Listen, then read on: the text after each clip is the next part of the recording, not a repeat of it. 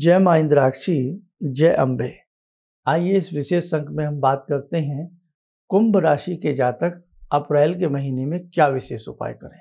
तो बात करते हैं कुंभ राशि की। आपकी राशि बहुत विशाल राशि है, बहुत विशाल हृदय के हैं आप। गंभीर चिंतन आपके मन में रहता है और किसी भी चीज़ को आप बहुत गंभीरता से, बहुत गहराई से सोचने वाले व्यक्ति हैं। लेकिन आप कितने गहरे हैं, आप कितने पॉजिटिव हैं, ये चीज़ हर व्यक्ति की समझ में नहीं आती है। धोखा मिलने की संभावना, किसी के लिए बहुत कुछ कर देना और उसके, उससे कुछ भी आपको सहयोग प्राप्त ना होना, ये कई बार जीवन में ऐसा आपके साथ होता है। और इसी के साथ साथ संघर्षशील जीवन तो आप लोगों का रहता ही रहता है, कितना ही पैसा कमा लें, कितना ही नाम कमा लें, लेकिन जीवन से संघर्ष बहुत कम लोगों के जा पाता है। खैर, और इस महीने, ये महीना जो अप्रैल का है, ये बहुत खास महीना है। क्यों? एक तो हम अपने हिंदी वर्ष में प्रवेश कर रहे हैं संबंध दो हज़ार उनासी में, और 2 अप्रैल से प्रथम नवरात्र है, और वर्ष का प्रथम दिन है। तो बहुत बड़ी खुशी की बात है। और एक चीज़ और बताएँ, जब कोई संवंत बदलता है, हर वर्ष, एक साल के बाद, हिंदी वर्ष की बात कर रहे हैं हम तो हमारे वर्ष के राजा और मंत्री होते हैं। तो इस बार जो राजा है इस साल के, वो शनि ही हैं। आपकी राशि के स्वामी हैं, शनि हैं, ये बहुत प्रसन्नता की बात है। और मंत्री जो हैं, वो बृहस्पति हैं। इसलिए नया साल चढ़ रहा है, उपाय बहुत ज़रूरी हैं। आपकी इस साल के राजा शनि हैं तो उपाय बहुत ज़रूरी हैं। और अप्रैल के महीने में एक विशेष बात और है कि करीब करीब समस्त ग्रह राशि बदल रहे हैं। तो बहुत बड़ा परिवर्तन है, बहुत बड़ा मोड़ है और किन किन चीज़ों से हम आप सब गुजरे हैं, ये बताने की आवश्यकता नहीं है। इसलिए आराम से, शांति से अपने घर में बैठकर ही कुछ उपाय कर लिए जाएँ ताकि ईश्वर की कृपा बनी रहे और जीवन सुख शांति के साथ गुजर जाए, है ना? तो आइए इस महीने ग्रहों का क्या परिवर्तन है, एक नज़र वो भी देख लें। सूर्य चौदह अप्रैल से मेष राशि में चले जाएँगे। मंगल सात अप्रैल से कुंभ राशि में चले जाएँगे, आपकी राशि में मंगल आ जाएँगे, मंगल शनि इकट्ठे होंगे अंत में जाकर के तो थोड़ा सा सावधानी बरतने की आवश्यकता है। बुद्ध आठ अप्रैल से मेष में, करीब चौबीस अप्रैल तक बहुत कम समय के लिए रहेंगे। बृहस्पति तेरह अप्रैल से मीन राशि में चले जाएँगे। शुक्र आपकी राशि कुंभ में अभी चल रहे हैं, लेकिन 27 अप्रैल से अपनी उच्च राशि मीन में चले जाएँगे। शनि जो हैं अभी अपनी राशि मकर राशि में चल रहे हैं, लेकिन इस महीने के अंत में करीब उनतीस अप्रैल के आसपास से कुंभ राशि में आ जाएँगे, आपकी राशि में आ जाएँगे। राहु 12 अप्रैल से मेष में और केतु 12 अप्रैल से तुला। देखो क्या संयोग है, सारे ग्रह चेंज हो रहे हैं। अब हम करते हैं उपाय की बात। उपाय के रूप में सबसे पहले तो ध्यान रखें कि कुछ तारीखें हर महीने की ऐसी होती हैं जिनमें थोड़ा सावधानी की आवश्यकता होती है, वो तारीखें सुन लें। पाँच अप्रैल छः अप्रैल, पंद्रह अप्रैल, सोलह, ट्वेंटी थ्री और ट्वेंटी फोर। इन तारीखों में ध्यान रखें, थोड़ा सा बिना मतलब किसी से ज़रह, बहस ना करें।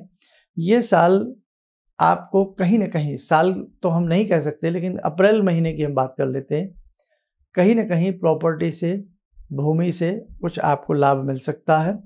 लेकिन कार्य क्षेत्र में कुछ बाधाएँ आपको प्राप्त होंगी।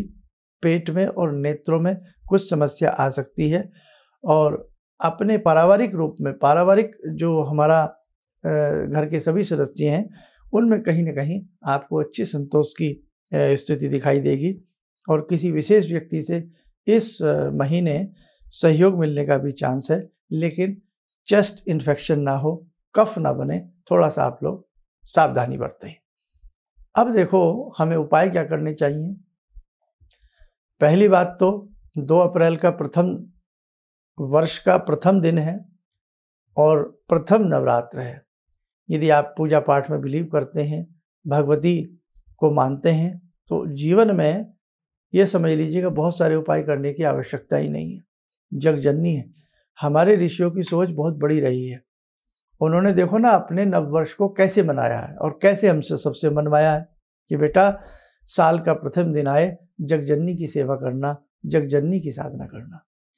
तो भगवती की साधना हम कैसे करेंगे? घट स्थापना कैसे करेंगे? कौन सा पाठ दुर्गा सप्तती का कैसे किया जाता है? ये सारी चीज़ें हमने नवरात्र विशेषांक में बताई हैं, उसे आप सुन लेना सुन लेना और देख लेना।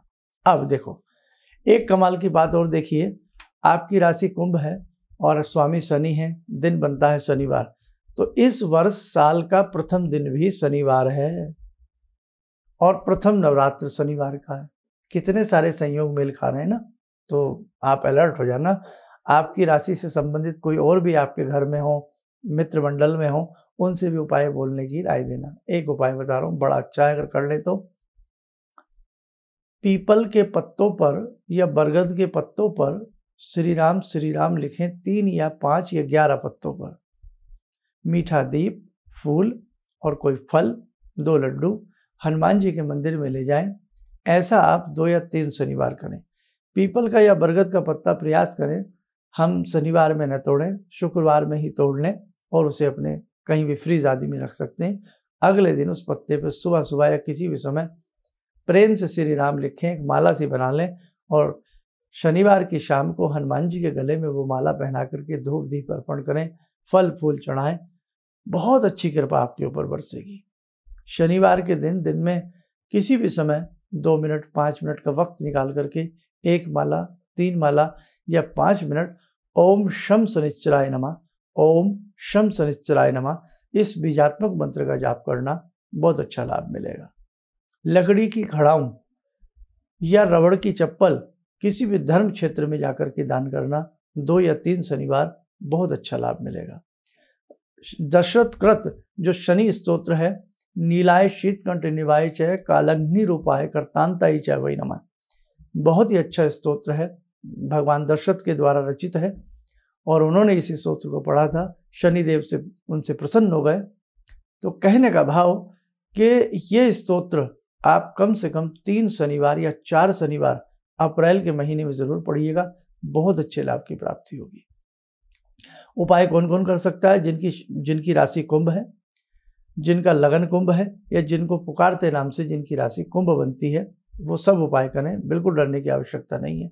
आप चिंता मत करना। कल क्या हो उसे छोड़ दीजिए। आज को सुधार लीजिए। कल अपने आप सुधर जाएगा। इसी के साथ साथ शनि चालीसा की पुस्तकें करीब करीब सत्तर पुस्तकें शनि चालीसा की या सात पुस्तकें या ग्यारह पुस्तकें किसी शनि मंदिर में आप शनिवार के दिन केवल एक दिन दे देना।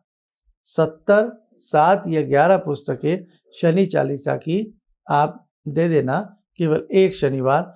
बहुत अच्छे इससे लाभ की आपको प्राप्ति होगी शनिदेव की कृपा की प्राप्ति होगी।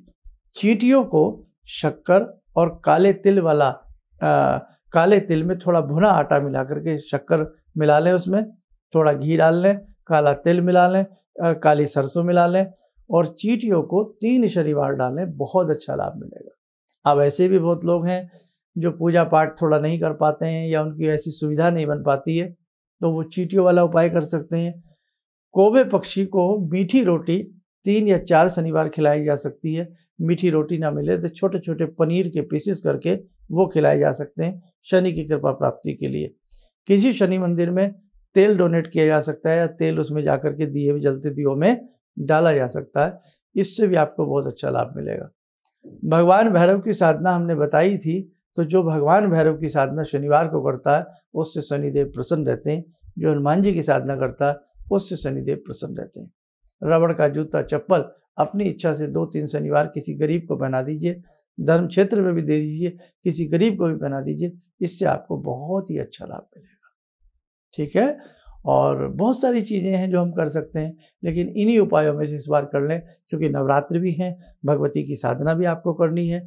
और हमने एक विशेष अनुष्ठान बताया था इस बार नवरात्रों के लिए तो उससे भी आप जुड़ना चाहें तो जुड़िए, बहुत अच्छा लाभ मिलेगा।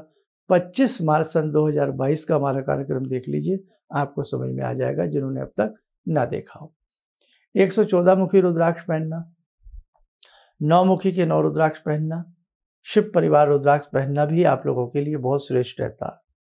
अंबी का यंत्र हुआ, भगवान श्री गणपति का यंत्र हुआ, और इसी के साथ साथ श्री यंत्र की साधना आपके लिए श्रेष्ठ सद्ध फलदायी रहती है। हमने मेष राशि से लेकर के मीन राशि के सभी उपाय बताए हैं। हो सकता है आपके परिवार में, दोस्तों में किसी की कोई और राशि हो तो वो भी अपनी राशि सुन करके अपने उपाय, अपने अपने उपाय कर लें तो बहुत अच्छा लाभ मिलेगा। उम्मीद करता हूँ ये अप्रैल का महीना बहुत खास है, नया साल है, आपके लिए बहुत बहुत खुशियाँ लेकर के आए, ऐसी जगदम्बा से प्रार्थना करता हूँ, इसलिए आप लोग थोड़ा ज़्यादा जितना आपसे बन सके साधना, उपासना, उपायों से अप्रैल के महीने में ज़रूर जुड़े रहना, ठीक है? तो बस मैं तो यही शुभकामना दे सकता हूँ कि ये जो नया संवत्सर प्रारंभ हुआ है दो अप्रैल से हो जाएगा। आप सबको ढेरों सारी खुशियाँ इसमें प्राप्त हों। आप सबकी समस्त मनोकामनाएँ पूर्ण हों। आप स्वस्थ रहें सुखी रहें। इन्हीं शुभकामनाओं के साथ हम अपनी वाणी को विराम देते हैं। जय जय अम्बे मैं मंची कवि हूँ बेसिकली मुझे बहुत दिनों से इस, इस बात की तलाश थी कि मैं कभी कोई गलती करूँ तो कोई ऐसा व्यक्ति मेरे ऊपर हो जो उसको बचाए, क्योंकि गलतियाँ तो होती हैं।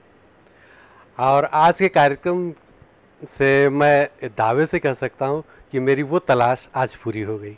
बस इससे ज़्यादा मैंने कुछ कहा किसी भी समस्या के समाधान के लिए मिले प्रसिद्ध हस्तरेखा एवं वास्तु विशेषज्ञ प्रोफेसर धर्मेंद्र शर्मा जी से नोट। शिविर में भाग लेने हेतु एवं व्यक्तिगत रूप से मिलने के लिए कॉल करने का समय सुबह 10 बजे से शाम 6 बजे तक। हमारे विभिन्न ज्ञानवर्धक कार्यक्रम देखने के लिए आप हमें अभी सब्सक्राइब करें, बेल आइकन को प्रेस करें ताकि आप देख सकें हमारा कार्यक्रम सबसे पहले। और अधिक जानकारी के लिए फेसबुक पेज को लाइक करना न भूलें।